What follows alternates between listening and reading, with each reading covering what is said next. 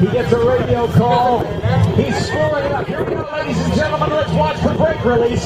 Three and two, one. Here we go. Shockwave. He spooled it up. All 19,000 pounds of thrust. And 36,000 horsepower.